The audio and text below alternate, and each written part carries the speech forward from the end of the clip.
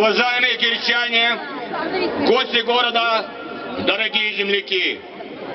Мы, жители города-героя Керчь, представители трудовых коллективов, общественных организаций, политических партий, традиционно отмечаем 1 мая как День международной солидарности трудящихся. Вместе с тем, профсоюзы города, не будущей политической организации, озабочены исключительно проблемами социально-экономического характера.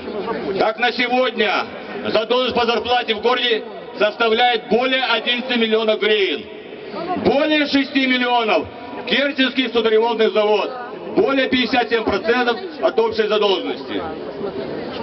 Профсоюзное движение Керчи серьезно обеспокоено тем, что сегодня в стране продолжается рост цен на продовольственные товары, повышаются тарифы на топливно-энергетические ресурсы и жилищно-коммунальные услуги.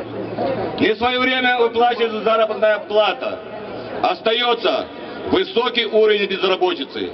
Все это неизбежно идет к социальной напряженности. С праздником, дорогие кирчане и гости города! Да здравствует 1 мая! День международной солидарности трудящих! Уважаемые кирчане! Митинг, посвященный Дню международной солидарности трудящихся, объявляю открытым.